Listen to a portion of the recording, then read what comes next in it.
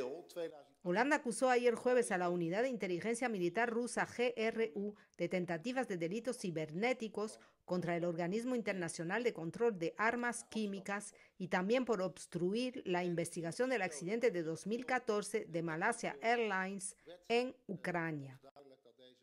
El general Ono Aijelsheim, jefe de inteligencia militar y seguridad holandesa, dio detalles sobre la supuesta operación del GRU. Uiteengezet...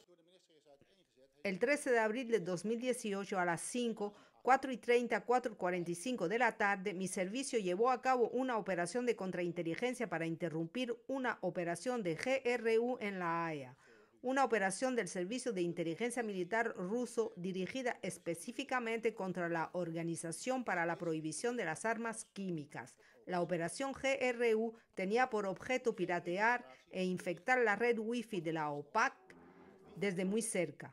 Lo llamamos una operación de acceso cercano. Las acusaciones holandesas llegaron cuando los funcionarios británicos culparon a los rusos por supuestas actividades como el envenenamiento de un ex espía ruso viviendo en Inglaterra y el derribo del avión de Malaysia Airlines sobre Ucrania. Rusia ha negado sistemáticamente su participación. Anne-Marie Garcia, Associated Press.